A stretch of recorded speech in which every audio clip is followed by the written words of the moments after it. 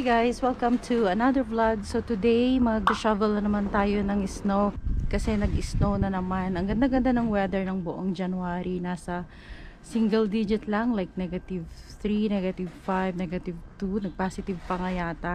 So which is very weird kasi usually ang peak ng winter dito is January. Yeah, pero now it's going to February. Mukhang in vengeance ang winter.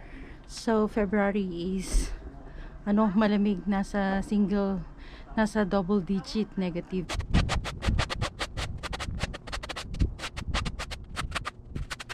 In effect na naman yata ang polar vortex kaya malamig na naman although I can't complain kasi the whole January napaka mild ng temperature akala mo spring. It's okay.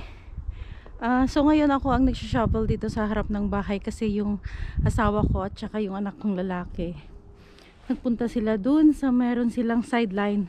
Tumanggap sila ng shoveling na sideline para sa mga bata kasi gusto namin silang turuan no, na magtrabaho kahit physical job para maintindihan nila yung hirap ng trabaho at yung mapahalagahan nila yung pera. Ma-realize nila na hindi madaling kumita ng pera para matuto sila at uh, mag-ingat-ingat sa paggastos.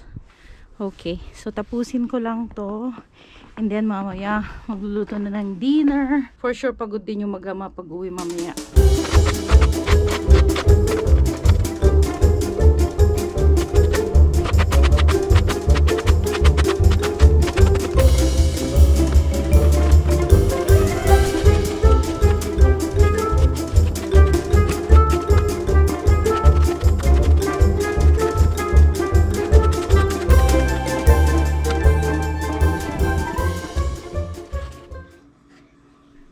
Ayan, so the next day na, ito na yung uh, belly na minarinate ko kagabi.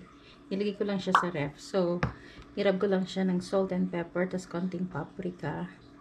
Uh, yung dito sa kabila. Pero dito yung sa may skin, salt lang. Tapos, kapag yung moist, punasan mo lang ng paper towel. Kailangan dry siya para mag-crispify yan. Yeah. Crispy belly for lunch. Okay, so lagay natin siya sa ganito. So, yan na siya. Bali, bibake natin siya to 350. Bibake natin siya ng mga isang oras. 30 minutes yung kabilang side and then 30 minutes the other side. Okay. Preheat lang. Ayan, ready na siya. So, lagay na natin. Oh, mainit na.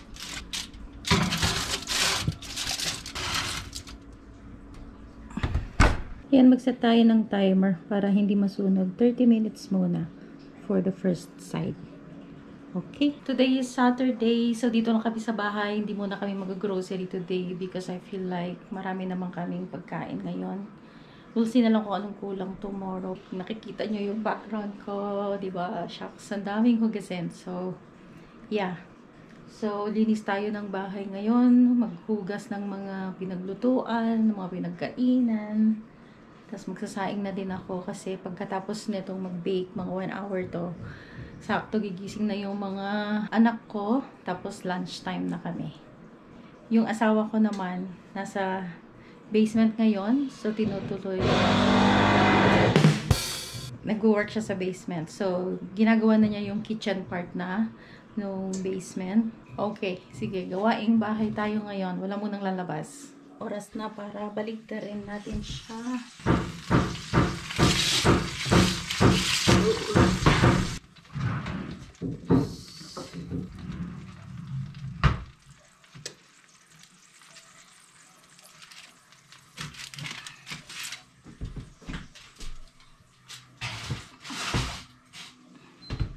Yan, sagawa tayo ng sausawan para sa crispy belly. Kailangan lang natin ng toyo.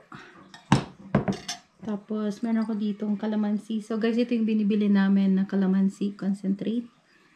Binibili namin to sa Seafood City. Ayan, toyo, kalamansi. Lagyan natin ng pepper. Konting pepper lang. Ground pepper. Tapos, a little bit of sugar. Are you done cooking? Tumigil ka. A little bit of sugar. Yan.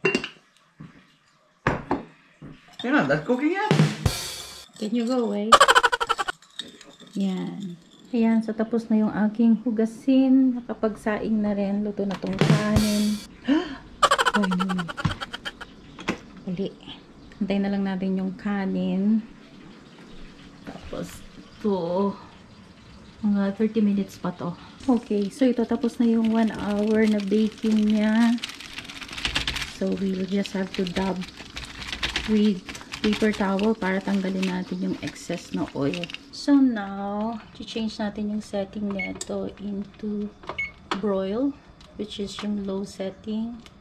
Start. So, kailangan natin siyang i-broil in about 20 minutes. Pinalitan ko yung setting niya into high kasi ang bagal. So, ito. Na siya. Alalay lang. Ayan, ang bilis niya nag-roast sa kayo. Teka, tanggalin na natin. Baka masunog. Ayan o, ang bilis niya naglutong o. Kaya na kaya ito. Ay, itong part na to hindi pa gaano. O, ito o, nagchichara na sa part na to. Ito medyo sunog na. Itong part na to hindi pa. Hindi pa natin. Siguro mga around 2 minutes lang. So, ayan, 2 minutes after hinango ko na. Hindi kasi pantay eh. Pero baka masunog na to. Ito okay na rin to. Pero yun ang ganda ng part na yan. Okay. Let's turn it off.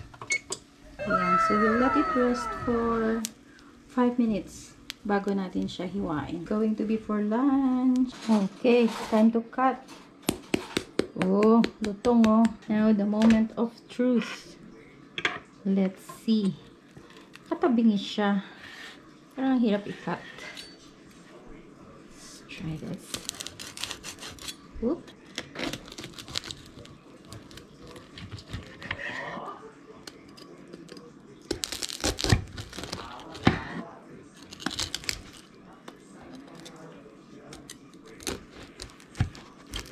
Oop.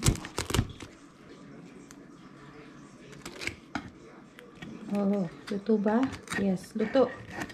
Lutong luto. You hungry na, darling? Okay, get ready with your plates. Oh, lutong oh. Mhm. Lambot. Okay, give me your plate, darling.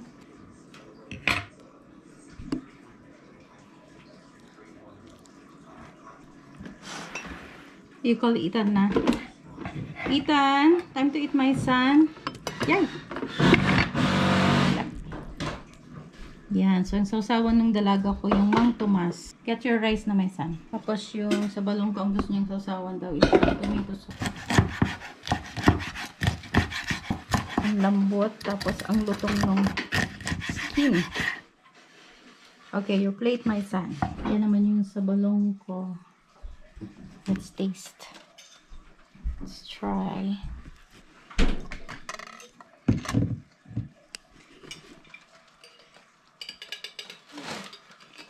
Mm.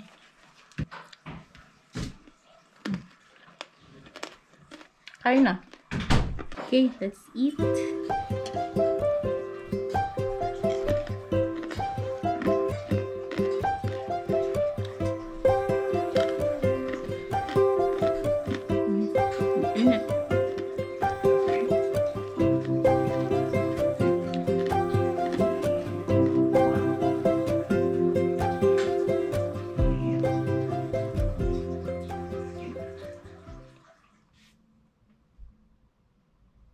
So right now, piniprepare ko yung mga documentation para sa passport renewal namin kasi nag-expire na yung passport namin since 2021 pa at gawa nga ng pandemic. So, hindi muna namin nire-renew until such time na meron na kaming plan na umuwi sa Philippines kasi mahal din ang renewal ng passport. Tapos, sayang din naman yung year na dumadaan kung sa tingin mo hindi ka pa naman magta-travel, di ba? So, So, right now, ito, piniprepare ko na at magpiprint ako nitong mga forms. Tapos, yung para sa application ng mga bata, andito na rin, na-print na rin yung iba. na forms, uh, kailangan pirmahan ng guarantor eh. Kasi like my son is still considered for child passport. So, kailangan pa rin ng pirma ng guarantor. Tapos yung daughter ko naman, so child passport siya before but now since nag-18 na siya, so adult passport na. For somebody who just turned 18, it will be considered new application of passport kahit na meron na siyang existing na child passport before. So which um, kailangan din ng guarantor. Ngayon, yung guarantor, they need to sign physically yung form talaga. Tapos, um, maski yung picture, kailangan din pirmahan ng guarantor. So, ngayon ang piniprint ko na is yung para sa application namin mag-asawa.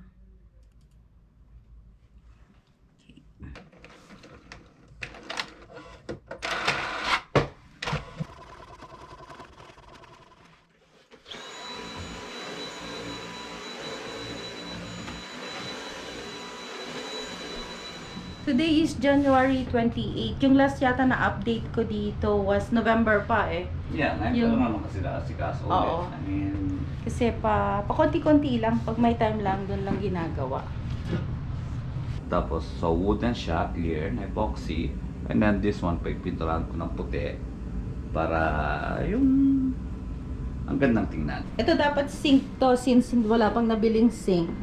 Actually, So, meron sink kaso, if possible, ayaw, ko- ayaw ko muna siyang gamitin. Pero, pag wala akong makita na perfect fit na gusto mo. yung single single sink na square, Tapos ito, yung uh, exhaust. Exhaust, Ikaw yeah. din gumawa niyan. yeah. So yeah, so ito yung pinaka-dining area and living room na rin. Pwede maglagay ng sofa. Nalagyan na rin pala niya ng Flooring. ah, flooring. Laminate flooring. Wooden laminate flooring. Yeah. So, kung napansin niyo niya, magkaiba. Kasi ito yung dating nauna, di ba? Ah, ah. So, all throughout, ito yung naunang flooring. Kasi Kasi dati storage, to eh. Storage lang to. Kaya wala tong flooring dati ngayon. Nilagyan namin ng ah, different color para lang ma-determine, di ba? Ma-differentiate yung kitchen At saka and yung- the living room. So ito, tatakpan ko pa mga to. Ah, ah. Da- uh, tatakpan Ah. ko ceiling niya. Yeah, medyo eyesore. Pangit Oo. tingnan. Yes, ito yung system na nakadugtong sa may ah, ang tawag doon, heating system. Heating system niya. Mga air duct ba tawag dyan? Or Ah, what? that's furnace. Ah, furnace. Okay. Kasi to rin, ano na ulit tawag to? Itong lalaking tubo, ano? Duct. Heating duct ang mga to. Heating duct. Kaya Ayan. mainit. See? Oo.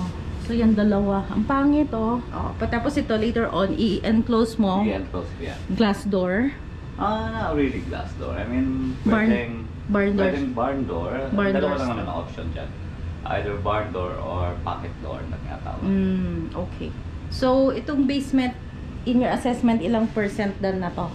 Actually, 80% na to. 80, 80 to 85% na to. I mean, nothing less. Nothing less. Ito na lang. Oo.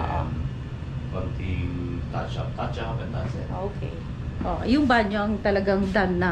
Totally done. Yung ano na lang, madali na lang yung kulang. Yung mirror na lang eh. Yeah, meet just the mirror. That's Oo. it. Everything Pero- is working. Functional na to. Tatanggalin Bakit? na to. Tatanggalin mo na? Ah, Ah, okay. Yan. Temporary holder. yep.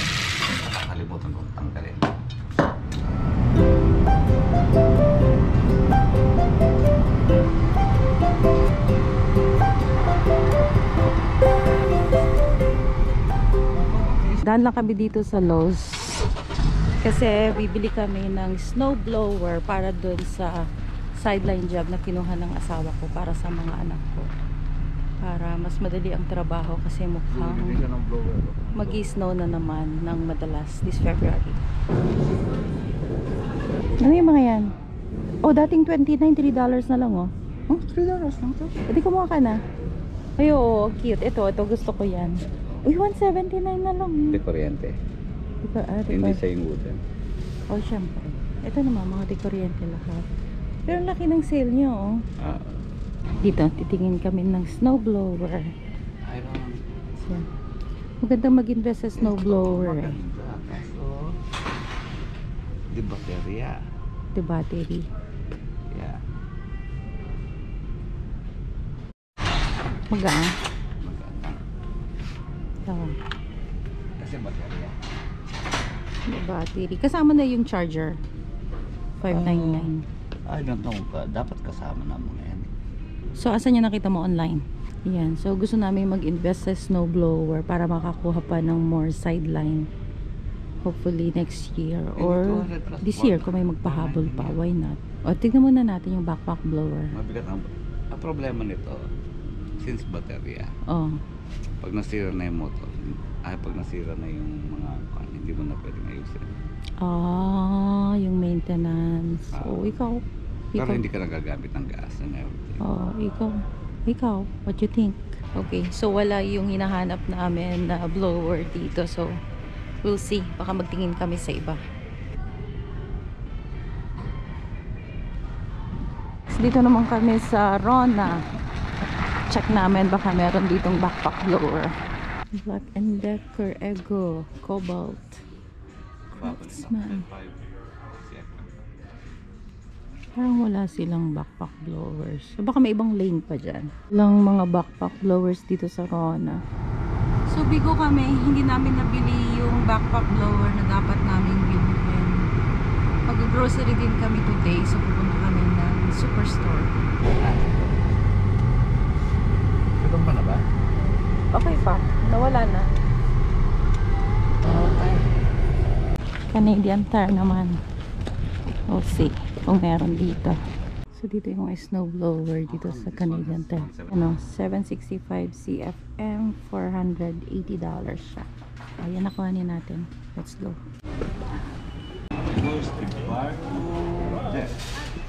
Okay, grocery naman sa Canadian Superstore. Yan, so bali bumili kami nung basket na ganito. Dalawa na. Mas organized pag nag-grocery kami. Tapos, pagka nabili na, nilalagyan nila ng ganitong orange para pagdating sa cashier, alam nila na paid na to. Okay, ano. Dito muna tayo sa vegetables and fruit section. Ayan, tabi ko na lang muna dyan sa tabi at magdadampot ako na magdadampot. Wala, walang ibang option. Ito na nga lang, bala na. Ano ba? Ito na lang. Ah, hindi maganda. Ito. Sige, ito na nga lang. Kuha ng patatas. Konti lang, kasya na yung dalawa. Parang gusto ko magpakbet pero wala masyadong gulay na pakbet. So, pangit yung ampalaya nila. Ito lang yung talong. Walang okra. Wag na. Yan, kailangan ko bumili ng sabon panlaba. So yan guys, ganyan kami pag nag-grocery. Kanya-kanya kami hiwalay para mabilis. Habang kumukuha siya ng tubig, ako naman kumukuha na nung iba pang kailangan.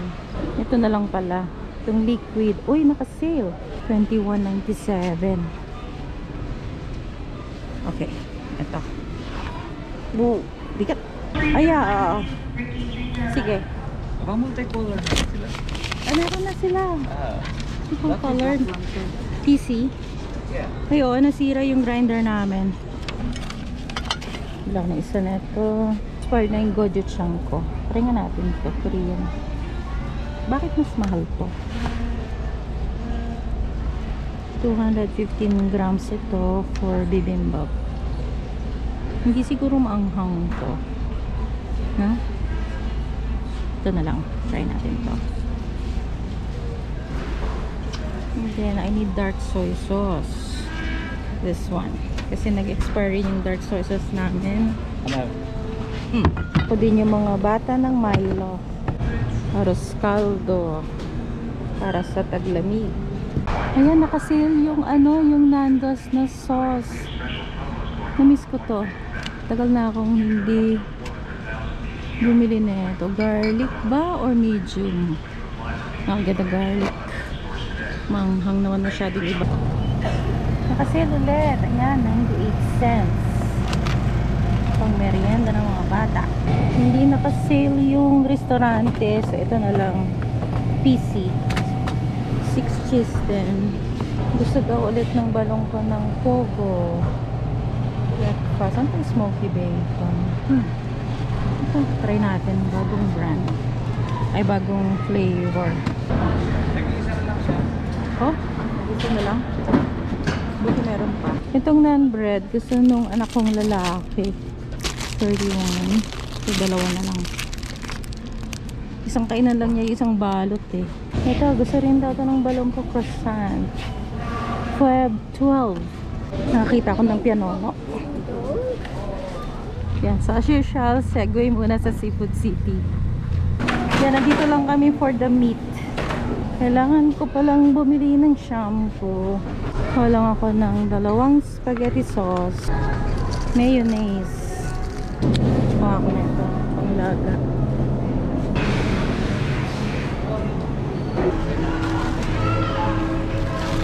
Yung seafood grocery namin nasa 68 lang. Tapos yung uh, Canadian Tire 143. So it's like 210. Yeah, so far at least we're below 250 since New Year, which is nice. Time to go home. Yan o, mas convenient kapag merong basket palang ganyan pag nag-grocery. Yeah, I'm cooking dinner right now. Making sinigang. Tapos, magigisa ako ng meat and gulay. So, ito na yung meat. So, lagyan lang natin ng ah, bell pepper. Ginisa sa ano, toyo. Tsaka konting chili.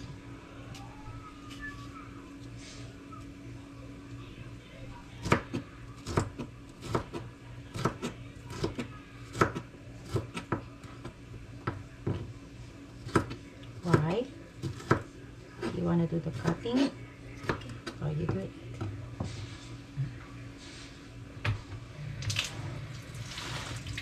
Okay, so siya na raw magtutuloy. Now, ako ay magsusute. So, ito yung sinigang. Pinapalambot ko lang muna yung pork.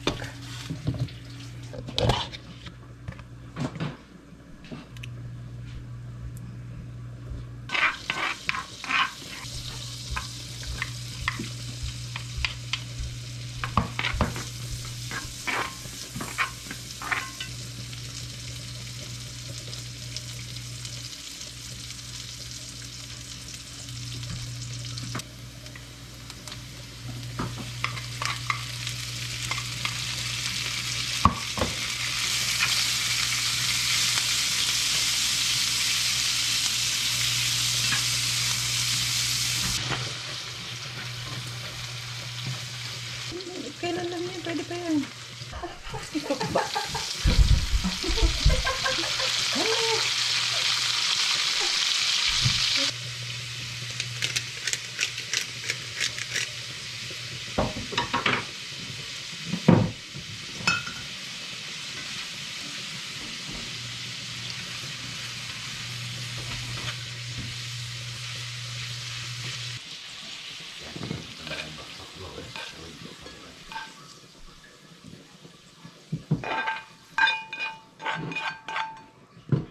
Tapos ito tinutoast ko yung wrap na meat and vegetable na pambaon ng asawa ko bukas.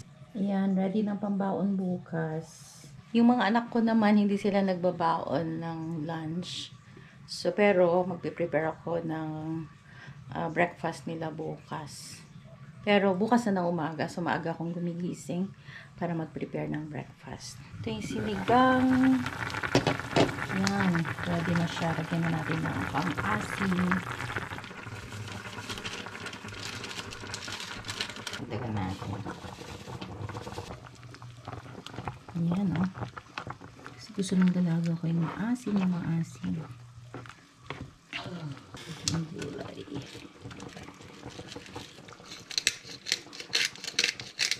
Ready na to.